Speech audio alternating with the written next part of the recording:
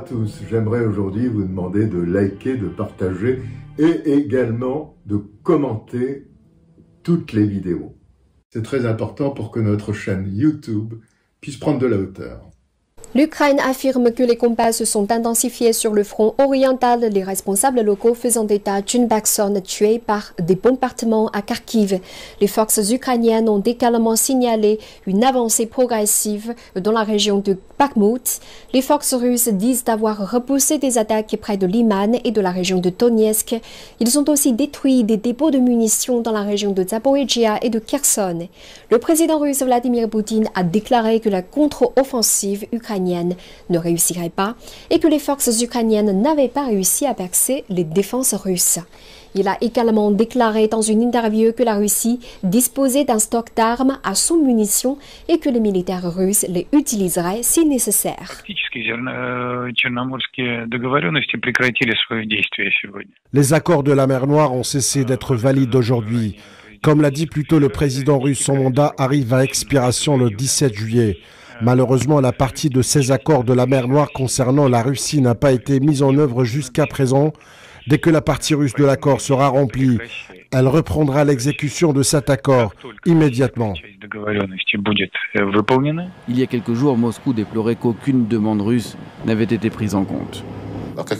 Je n'ai entendu aucune nouvelle proposition. L'accord conclu il y a un an est déjà renouvelé deux fois a permis de sortir près de 33 millions de tonnes de céréales des ports ukrainiens malgré la guerre. Des denrées essentielles notamment pour éviter des famines dans des pays africains et une envolée des prix sur le marché mondial. ONU, Europe et États-Unis exhortent la Russie à renouveler le texte. Il est essentiel d'étendre et de développer l'initiative sur les céréales de la mer Noire, à laquelle la Russie menace de mettre fin une fois de plus le 18 juillet. Si Moscou met sa menace à exécution, les pays en développement, y compris dans la région, paieront le prix, y compris au sens propre, avec des prix alimentaires plus élevés et une plus grande pénurie alimentaire. Moscou, de son côté, affirme que le non-renouvellement de l'accord ne signifierait pas l'abandon de l'Afrique. Vladimir Poutine s'était dit prêt au mois de mars à livrer gratuitement les pays les plus nécessiteux, parmi lesquels le Soudan, la Somalie ou encore l'Éthiopie.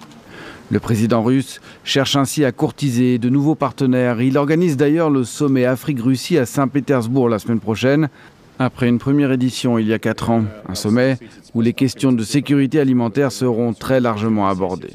La Russie a affirmé ce dimanche avoir neutralisé au moins 10 drones ukrainiens lancés en Crimée annexée près de Sébastopol.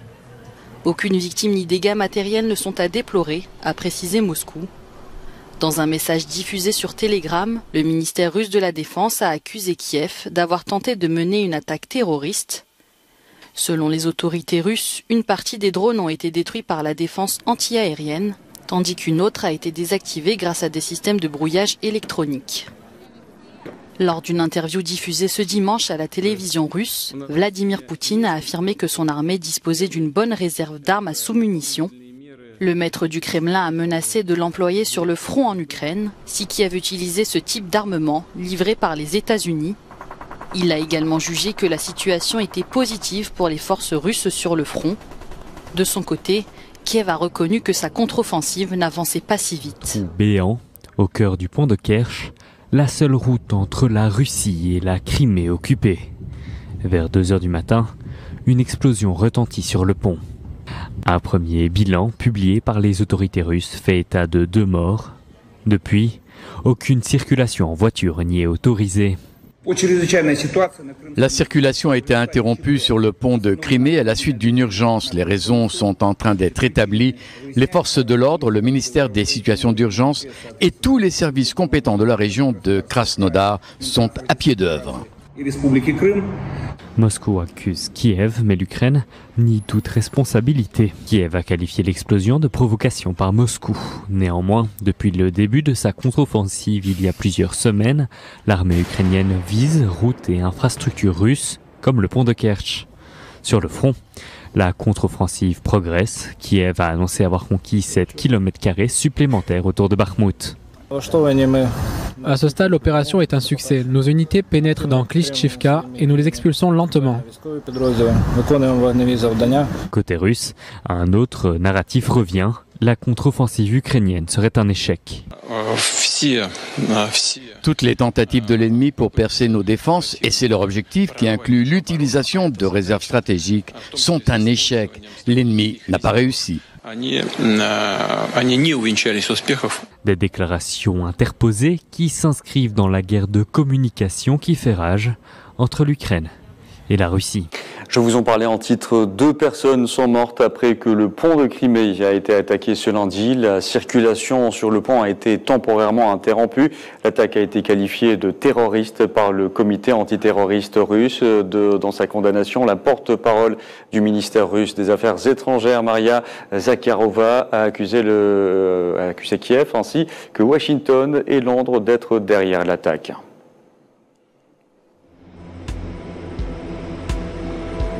Depuis plusieurs jours, des avions allemands, américains, mais aussi suédois ou japonais sillonnent le ciel européen. Avec cet exercice militaire, l'OTAN semble signaler à la Russie Nous sommes là et nous sommes prêts. De quoi alimenter les discours anti-alliance de la Russie. Pour Moscou, l'Ouest et particulièrement l'OTAN sont responsables de la guerre en Ukraine. Войну, которую они начали в 2014 году, мы попытались прекратить вооруженным способом. Когда немцы говорят, вот вы начали войну, вот Путин нам агрессор. Нет, это они агрессоры. NATO needs to look at what may happen after the war, so looking at also potential membership of Ukraine uh, in NATO, but also it's about stabilization and thinking about, of course, what may happen uh, after the war. So uh, thinking about recovery mechanism, and uh, I think it is, of course, long-term perspective. Urgent task now is to ensure that Ukraine prevails as a sovereign independent nation. Uh, because unless Ukraine prevails and can continue as a democratic state in Europe, there is no membership issue to uh, be discussed at all. Un sujet qui sera au cœur des discussions au sommet de l'OTAN à Vilnius les 11 et 12 juillet prochains. Tout le cours des événements et l'analyse des informations reçues montrent que l'affrontement de la Russie avec ses forces est inévitable. Ce n'est qu'une question de temps. Ils se préparent, ils attendent le moment favorable. Maintenant, quelques mots importants, très importants, pour ceux qui seraient tentés de s'ingérer dans les événements en cours. Quiconque essaiera d'interférer contre nous, et plus encore de créer des menaces pour notre pays, pour notre peuple, doit savoir que la réponse de la Russie sera immédiate. L'armée ukrainienne a perdu environ 20% de son armement et de ses véhicules depuis le début de la contre-offensive, selon le New York Times. Des pertes importantes qui pourraient être à l'origine des difficultés que les soldats rencontrent sur le front et pourraient pousser l'état-major à repenser sa stratégie. Le président sud-coréen Yoon Suk-yeol a promis davantage de matériel militaire et d'aide humanitaire à l'Ukraine. Cela a été annoncé lors de la visite du président sud-coréen à Kiev, où il a rencontré son homologue ukrainien Volodymyr Zelensky. Le président Yoon a déclaré que le plan était de fournir à l'Ukraine 150 millions de dollars d'aide humanitaire cette année, soit 50 millions de dollars de plus que l'aide de Séoul au pays l'année dernière. Les deux parties ont également discuté de la coopération en matière de construction d'infrastructures. Volodymyr Zelensky a remercié Yoon Suk-yeol pour son soutien. Donc Erdogan, le président turc, a dit qu'il lèverait son hostilité à l'entrée de la Suède dans l'OTAN si la Suède faisait des efforts et euh, renvoyait chez eux ben, ces réfugiés politiques kurdes. Alors on en était là, et puis les choses se sont précipitées au cours des derniers jours, puisque l'on a appris en définitive que Joe Biden s'était entretenu au téléphone avec Erdogan, et que Erdogan avait fait savoir que, eh bien finalement, euh, il pourrait lever son opposition à l'entrée de la Suède à condition euh, de pouvoir disposer de F-16 américains, première condition, et deuxième condition, euh, ben, que la Turquie puisse entrer dans l'Union européenne, donc que les États-Unis interviennent pour que la Turquie entre dans l'Union européenne. Ce deuxième point est absolument extraordinaire si vous y réfléchissez bien, parce que ça veut dire que les Turcs ont compris que celui qui décide non seulement de l'entrée dans l'OTAN, mais également de l'entrée dans l'Union européenne, c'est quand même l'oncle Sam. Il faut se pincer pour le croire. Alors, pourquoi est-ce que la Turquie souhaiterait entrer dans l'Union européenne? Je rappelle que ça fait plus de 30 ans que le processus d'adhésion a été lancé. Il y a une majorité d'États membres de l'Union européenne qui le refusent. Pourquoi ça? Parce qu'il y a 85 millions d'habitants en Turquie, parce que si la Turquie devenait membre de l'Union européenne à part entière, même s'il y avait un délai de quelques années de mise à niveau, au bout du compte, ça fait quand même 85 millions de Turcs qui pourraient potentiellement quitter la Turquie pour venir s'installer dans d'autres pays de l'Union européenne en vertu de principes de libre circulation des personnes à l'intérieur de l'espace Schengen. Et donc on pourrait avoir plusieurs millions de Turcs venant s'installer en France. On peut donc comprendre que les pays d'Europe occidentale traînent les pieds devant cette perspective, surtout compte tenu de la popularité dont jouit actuellement l'immigration extra-européenne au sein des pays membres de l'Union européenne. Je ne vous fais pas de dessin sur le sujet. Algérien Abdelhamajid Depoun vient d'arriver en Chine pour une visite d'État qui se poursuivra jusqu'à vendredi. Cette visite effectuée à l'invitation du président chinois Xi Jinping est la première de M. Depoun en Chine en tant que président. Le dirigeant a auparavant occupé les postes de ministre de la Communication et ministre de l'Habitat et de l'Urbanisme. Il a également été Premier ministre en 2017 avant d'être élu président de l'Algérie en deux ans plus tard. La Chine. On en parle souvent sur Terra Bellum puisque la Chine est une puissance capitale qui est en train de se révéler au monde au XXIe siècle. Aujourd'hui, on va parler des perspectives de croissance du pays, mais aussi de ses nombreux défis et également de la guerre technologique et économique entre la Chine et l'Occident qui est portée par les États-Unis. Fin juin 2023, les dirigeants chinois ont rencontré leurs homologues allemands et français en Europe, tandis que le secrétaire d'État américain Anthony Blinken s'était lui rendu en Chine. Il s'agissait là d'ailleurs de la première visite américaine de haut niveau à Pékin depuis près de 5 ans. Ces engagements diplomatiques, ils interviennent à un moment clé des relations entre la Chine et les puissances occidentales.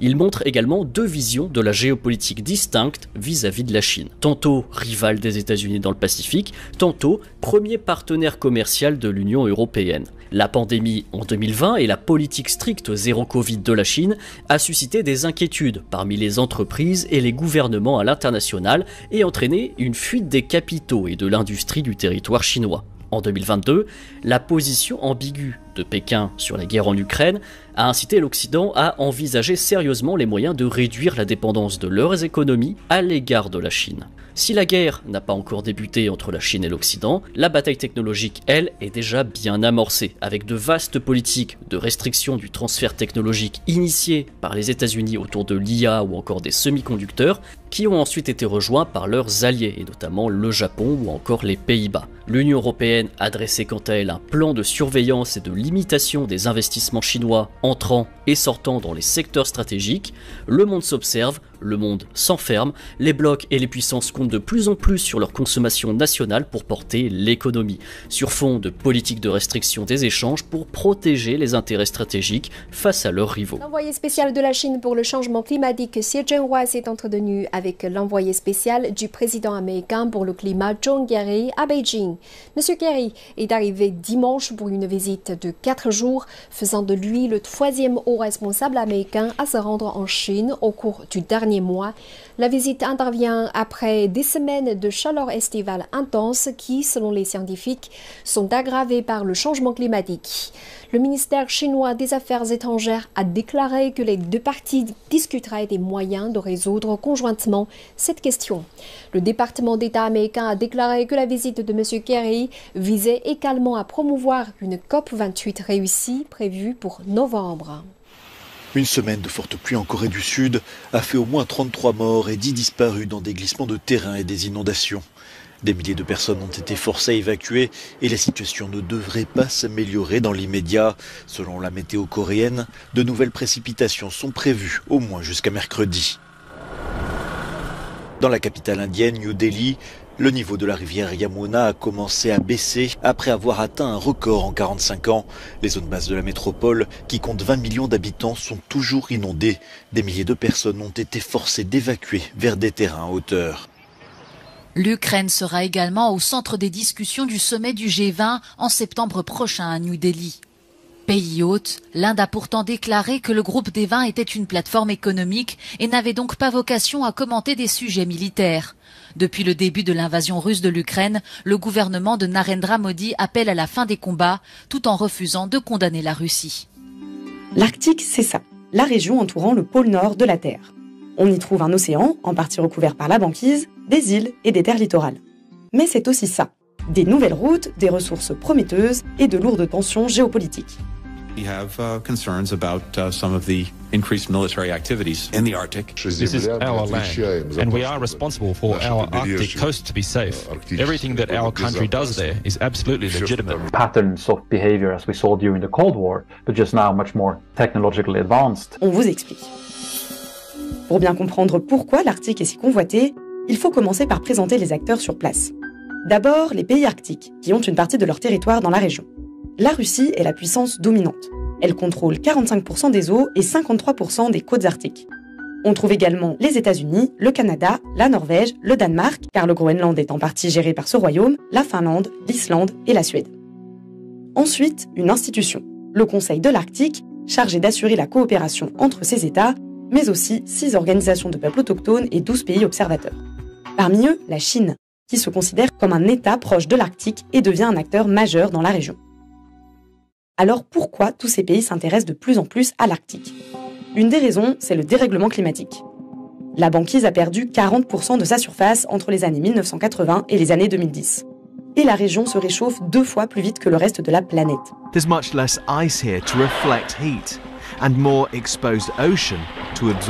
Ces sept dernières années sont d'ailleurs les plus chaudes que la région ait connues depuis 1900.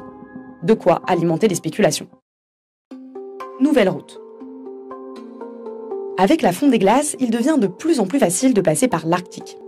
L'itinéraire le plus prometteur est la route maritime du Nord, RMN, qui longe les côtes russes et permet de réduire de 40% le temps de trajet entre la Chine et l'Europe. Elle est aujourd'hui praticable de mai à octobre. Son trafic augmente déjà.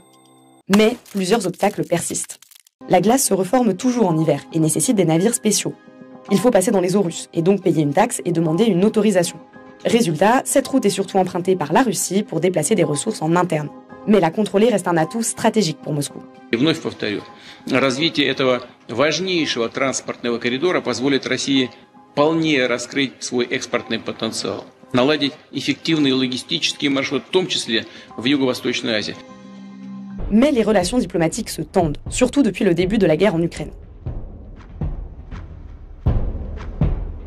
Elle renforce ses capacités militaires en modernisant les installations soviétiques et en en installant de nouvelles. This entire airbase is covered in ice and yet the Russians have managed to extend the runway to a point that they can land even their heaviest aircraft here, including strategic bombers capable of carrying nuclear weapons. L'objectif dissuader les puissances de l'OTAN et protéger ses infrastructures. When NATO is organizing a military exercise, you suddenly see a, a Russian snap exercise in the middle of of the exercise area. Sept pays ont suspendu la coopération avec la Russie dans le cadre du Conseil de l'Arctique. Et l'adhésion de la Finlande à l'OTAN renforce les tensions. La Russie cherche alors d'autres alliés, en particulier la Chine. Il rugit, son grandeur nature est toujours fascinant. La chose la plus proche des vrais dinosaures que les habitants et les touristes peuvent désormais découvrir à Rio de Janeiro. À deux heures de route de la ville, le parc appelé Terra dos Dinos Terre des dinosaures a été construit sur une réserve écologique de 1,4 million de mètres carrés avec la forêt tropicale atlantique du Brésil. C'est le rêve d'enfance de Marcio Claré, un homme d'affaires qui a acheté 30 dinosaures animatroniques en Chine et les a fait expédier à travers le monde. Dix autres ont été réalisés par un artiste brésilien. Un journaliste a été abattu dans la station balnéaire mexicaine d'Acapulco ce samedi. Il s'agit de Nelson Matus, directeur d'un site d'information local. Il s'était spécialisé dans le traitement des violences qui gangrènent cet état du Guerrero situé au sud-ouest du pays. Il s'agit du deuxième journaliste assassiné en à peine une semaine au Mexique. Le 8 juillet dernier, le corps de Luis Martin Sanchez avait été retrouvé portant des traces de violence. Avec 13 journalistes tués d'après le décompte des autorités. 2022 a été l'année la plus meurtrière pour les journalistes au Mexique depuis 2000. Cela s'explique par des rumeurs selon lesquelles le sommet pourrait être déplacé dans un autre pays membre des BRICS, voire se tenir virtuellement. Mais Cyril Ramaphosa, également président de l'ANC au pouvoir, a affirmé que ce ne serait pas le cas. Monsieur Ramaphosa s'est exprimé lors de la réunion du Conseil des affaires des BRICS à Santon. Il y avait une rumeur ici et là selon laquelle ce sommet pourrait aussi devenir un sommet en ligne. Mais non, ce sera un sommet en face à face et cela se passera ici.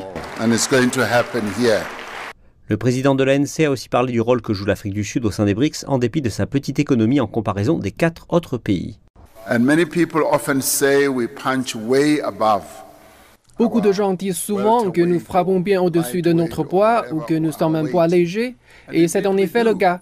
Et cela montre aussi le rôle important que joue l'Afrique du Sud sur la scène internationale. Oui, nous sommes un petit pays par notre population par rapport aux autres gigantesques pays membres des BRICS, mais nous sommes perçus comme jouant un rôle stratégique très important, aussi petit et minuscule que nous soyons.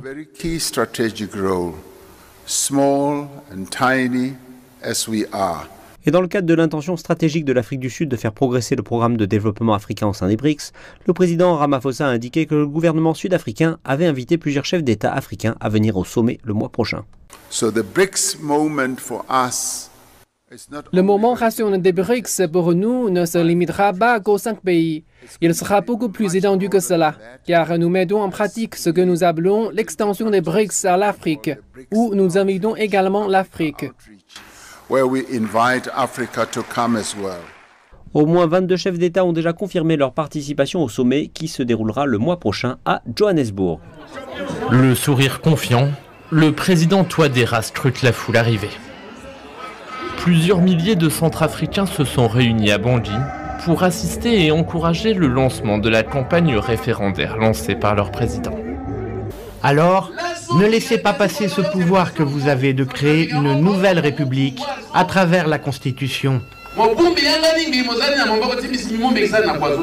Une nouvelle république qui permettrait surtout à Faustin Archange Touadéra de briguer un troisième mandat de président.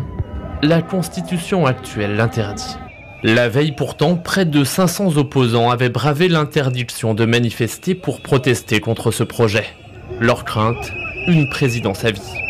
Nous ne pouvons pas accepter que quelqu'un qui est venu par un processus démocratique et qui s'est maintenu en 2021 par une, une mascarade électorale puisse décider de se maintenir au pouvoir. La campagne se termine le 28 juillet. Le 30 juillet, les Centrafricains iront voter. Ils sauront alors si oui ou non, Faustin Archange Touadéra pourra être candidat à la prochaine élection présidentielle. Encore à Khartoum, l'armée et les forces paramilitaires se sont livrés à d'intenses batailles. Des avions de combat de l'armée ont ciblé des bases appartenant aux paramilitaires des forces de soutien rapide, ces dernières qui ont répliqué avec des armes anti-aériennes, selon des témoins oculaires cités par la presse. Les FSR ont utilisé des drones visant le plus grand hôpital de la capitale, la deuxième opération du genre après celle de samedi qui a fait 5 morts et 22 blessés d'après l'armée. L'Organisation mondiale de la santé avait indiqué vendredi que le peuple soudanais est dans une situation très embarrassante face à la violence endémique, l'insécurité persistante, les attaques répétées contre les établissements de santé ainsi que l'accès limité aux produits d'hygiène de base. Les Soudanais sont entre la vie et la mort. Au Darfour, une vaste région déjà meurtrie dans les années 2000 par une guerre civile, des témoins ont fait état dimanche de violents affrontements avec plusieurs types d'armes dans la ville de Kass. Cette région où les corps d'au moins 87 personnes ont été découverts dans une fosse commune à l'extérieur de la capitale de l'état du Darfour occidental, El Geneina. La capitale soudanaise déchirée par la guerre depuis la mi-avril, les combats entre l'armée du général Abdel Fattah al-Burhan et les FSR du général Mohamed Hamdan Daglo ont fait plus de 3000 morts, des milliers de blessés et plus de 3 millions de personnes déplacées, soit à l'intérieur ou à l'extérieur du pays. La moitié d'entre elles sont des enfants. Face à cette situation qui persiste sans aucun signe d'apaisement, les sept pays voisins du Soudan ont réclamé lors d'un sommet jeudi en Égypte l'aide des bailleurs internationaux pour accueillir plus de 700 000 réfugiés de la guerre au Soudan. Contre la réforme judiciaire continue de se propager au sein de Tsahal. Ce week-end, ils étaient des centaines à avoir envoyé des lettres de refus de se présenter aux périodes de réserve. Parmi eux, 150 réservistes du corps médical militaire, des réservistes de l'unité secrète Morane du corps d'artillerie et 170 réservistes de l'unité d'élite Sayeret Matkal. J'annonce avec regret la fin immédiate de mon volontariat en tant que réserviste. Pendant de nombreuses années, j'ai été médecin au sein de Tzal.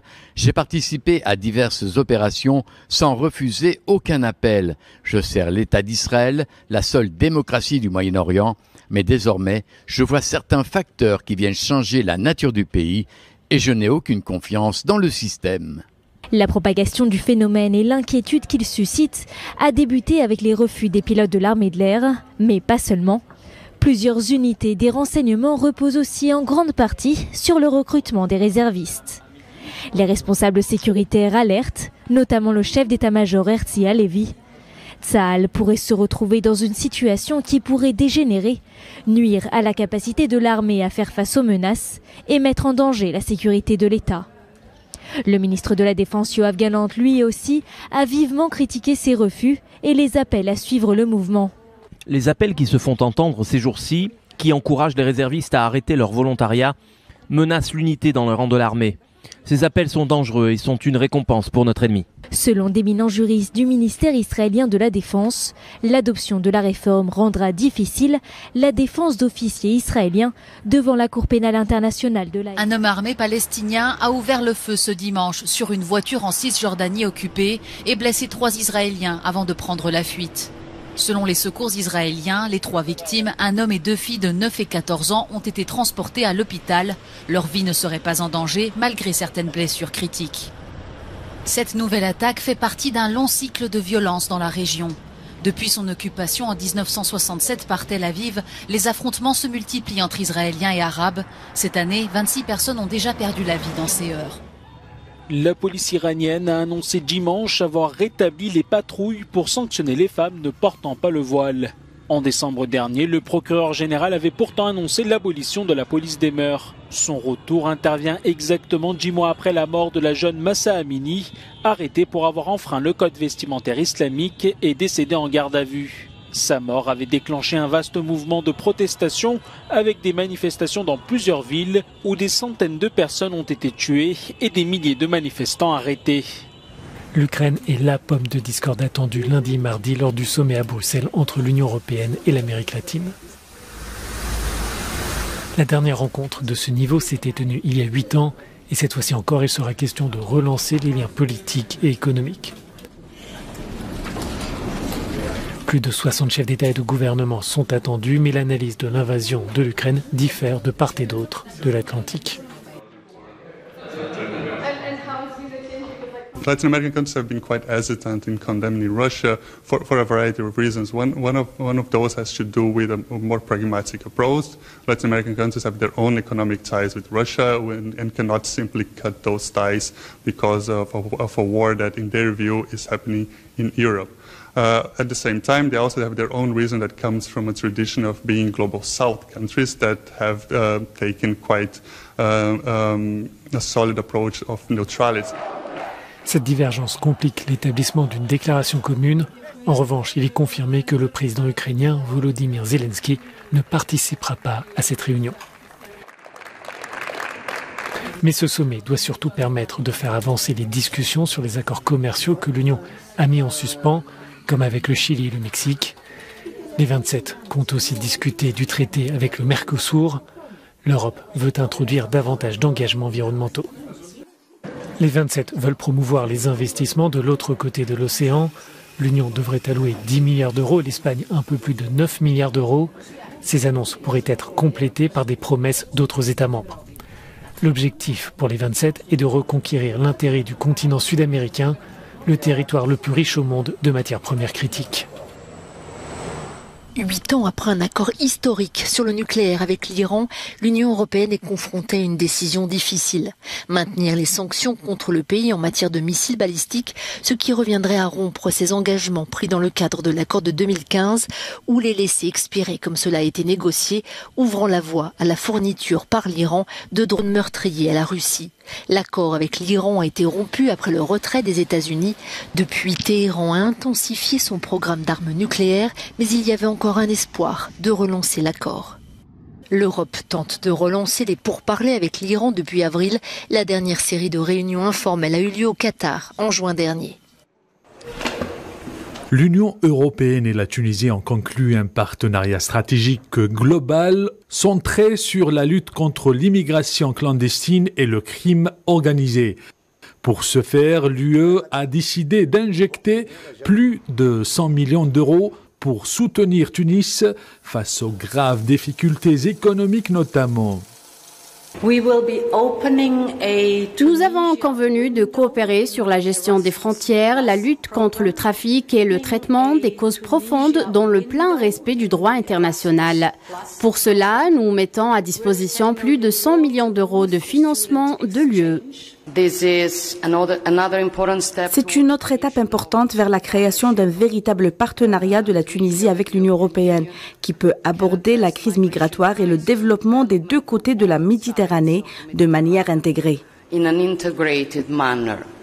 L'UE fait pression sur la Tunisie d'accepter le plan de sauvetage économique du Fonds monétaire international.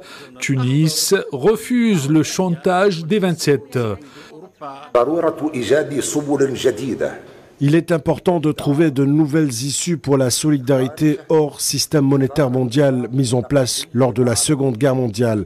Ce système qui divise le monde en deux parties, une partie pour les riches et une autre pour les pauvres, ne doit pas avoir lieu. Et il n'est pas possible que cela continue avec le même format et contenu.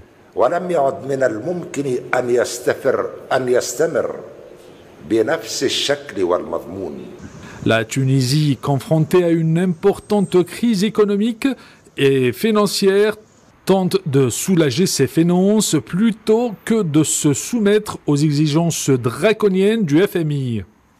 L'Union européenne et la Tunisie ont signé dimanche un partenariat stratégique sur l'économie et la politique migratoire. L'accord prévoit une aide de 105 millions d'euros pour lutter contre l'immigration irrégulière. La présidente de la Commission européenne, Ursula von der Leyen, a salué sur Twitter un partenariat solide. Les chefs de gouvernement italiens Giorgia Meloni et néerlandais Mark Rutte accompagnaient la dirigeante européenne. We will cooperate on border management, anti-smuggling, return and addressing root causes in full respect of the international law. Equally important is our work to facilitate legal, regular migration. Plus de 75 000 migrants ont débarqué en Italie depuis le début de l'année. L'année dernière, à la même période, ils étaient près de 32 000. Ce nom qui agite beaucoup les esprits ces jours-ci, Martial, c'est Fiona Scott Morton. C'est une lobbyiste américaine qui devrait prendre la tête de la direction de la concurrence de l'Union européenne. Pardon, monsieur You, mais quel est le problème? Eh ben, une américaine à Bruxelles, Fiona Scott Morton, américaine, brillante, professeure à l'université de Yale, ancienne de l'administration Obama. Mais elle a aussi été consultante pour des cabinets de conseil américains, elle l'est encore, et pour des entreprises comme Apple, Microsoft ou Amazon. Et c'est là que ça commence quand même à poser un problème. Aïe, aïe, aïe, quel serait, quel serait son rôle? Économiste en chef de la Direction générale de la concurrence. Et la Direction générale de la concurrence, elle est chargée de surveiller notamment les géants du numérique. Google, Apple, Facebook, Amazon, Microsoft. Oui, c'est ces anciens patrons, ceux pour qui elle travaillait ces derniers mois. Donc il faut s'assurer qu'ils ne sont pas en position de monopole, qu'ils ne nous imposent pas l'obsolescence programmée de leurs produits ou des chargeurs qu'ils sont les seuls à vendre. Dans les exemples que je viens de citer, je fais référence à des affaires où l'Europe a fait condamner ces derniers mois ces géants des technologies pour des pratiques qui n'allaient pas dans le sens des consommateurs que nous sommes tous autour de cette table. Alors comme elle sera scrutée, euh, ça peut l'obliger à être encore plus irréprochable, non? Bon alors, imaginez deux secondes, hein, on, on inverse les choses. Est-ce que les Américains confieraient le, do- le dossier Boeing Airbus à un Français, à votre avis? Non. Non. Et je vais vous raconter une anecdote à Davos, fin janvier 2009. Barack Obama est attendu au Forum économique. Il est en poste depuis moins de dix jours et sa première décision de président a été de relever les droits de douane sur les pneus pour stopper l'arrivée des produits chinois chez lui. À Davos, temple du libéralisme, c'est la stupeur à ce moment-là parce que le monde avait cru que Barack Obama était un symbole, un philanthrope humaniste élu à la Maison Blanche. Bah non, c'était d'abord le président des États-Unis qui défendait, comme tous ses prédécesseurs, les intérêts de son pays. C'est comme ça. Une question, tiens, est-ce que la Commission européenne doit embaucher obligatoirement des Européens? Alors c'est quand même la pratique, oui. Euh, sur un effectif de 32 000 personnes, la Commission n'emploie aucun Américain à un poste central à Bruxelles. On nous dit que sur tous les dossiers sensibles, elle se déportera, Fiona Scott Morton. Eh ben oui, mais euh, comme elle était au cœur de tous les dossiers sensibles de ces derniers mois, on va donc nommer quelqu'un qui va passer son temps à se retirer pendant deux ans. Non, il n'y avait pas un Européen compétent dans la salle. quoi. Mais Est-ce que ça affaiblit l'Europe, ça? Bah oui, forcément, ça donne le sentiment que l'Europe n'existe pas, qu'elle est sous le joug des Américains. Les anti-commissions européennes comme Jean-Luc Mélenchon ou Marine Le Pen se sont rués sur cet argument. On sait déjà que sur la taxe anti-GAFA, sur les sanctions à l'égard des Américains ou des Chinois, on a du mal à adopter une politique commune entre les Français qui veulent des sanctions, une politique dure, et des Allemands qui ont toujours peur de perdre leurs exportations américaines ou chinoises. En plus, on fragilise aussi tous ceux qui croient au rêve européen, et j'en fais partie, un espace économique qui peut être une alternative aux USA et à la Chine. Ces deux empires-là sont déjà en train de renforcer leur protectionnisme pour se protéger, en fait. hein. Absolument, ils favorisent leurs économies à grands coups de subventions. Alors on va arrêter l'éternelle naïveté européenne. C'est le moment de mettre des règles de protection. L'intelligence artificielle arrive, les voitures électriques chinoises arrivent, l'exploitation des données personnelles devient un enjeu commercial. Si l'Europe ne se protège pas en intégrant ses citoyens et ses responsables politiques au sein d'un même projet économique et politique, eh ben on transforme le strapontin actuel des populistes en trampoline pour les prochaines élections. Un petit peu colère ce matin, Martial You, l'Angléco, bien sûr. Chers du- collègues, hier nous avons voté le rapport Pfizer et aujourd'hui je suis agréablement surprise.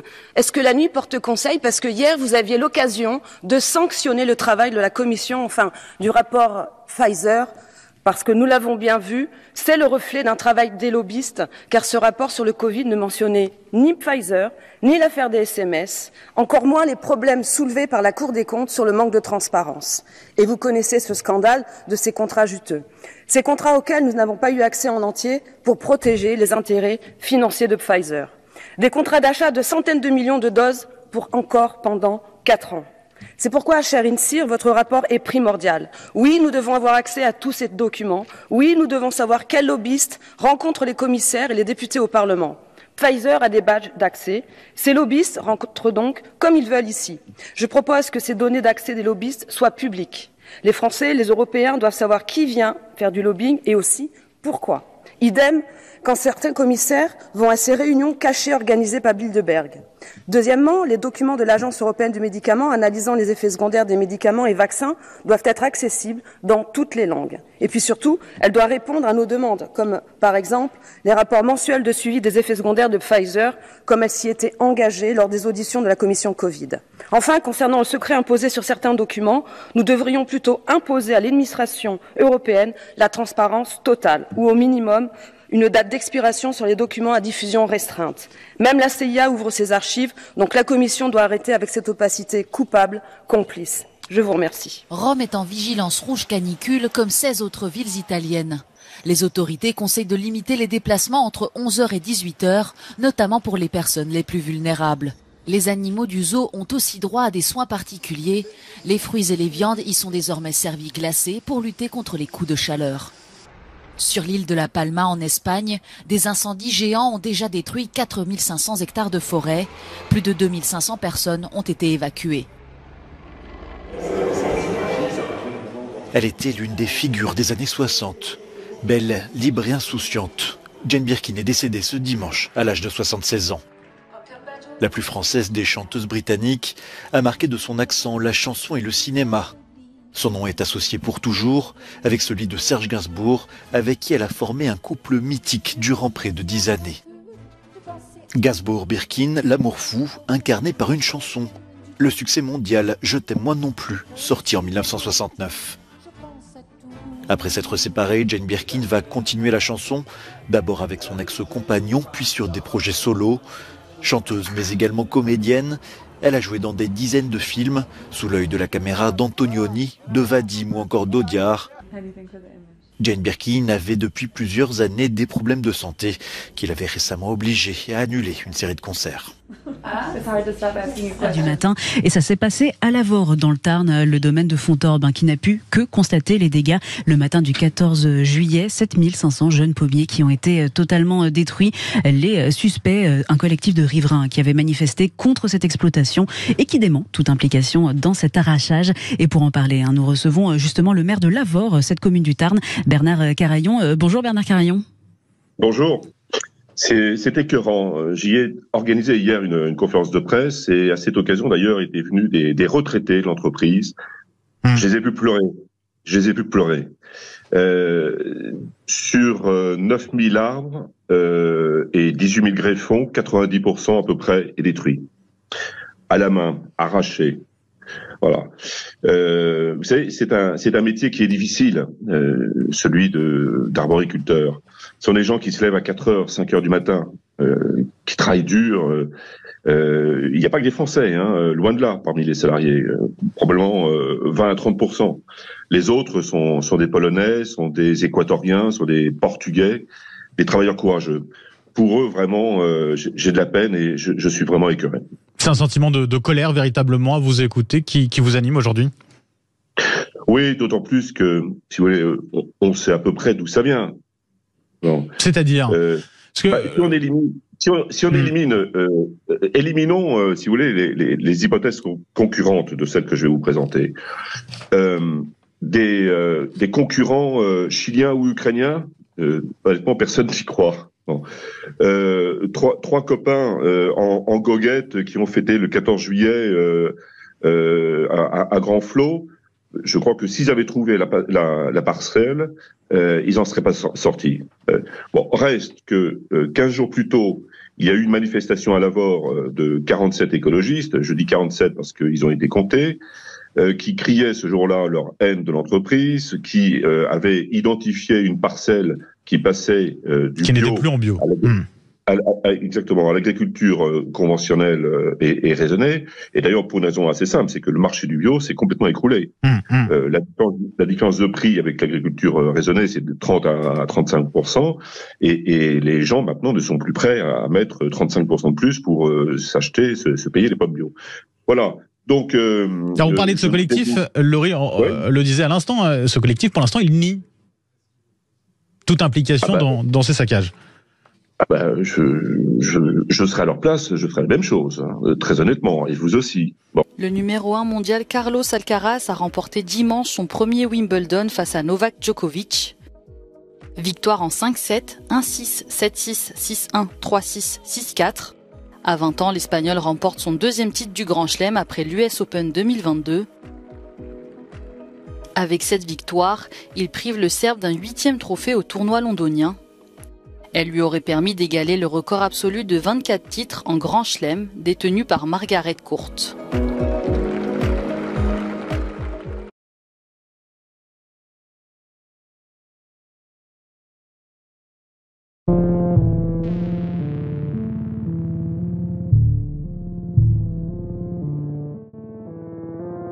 Oui, bonjour à tous. J'aimerais aujourd'hui vous demander de liker, de partager et également de commenter toutes les vidéos.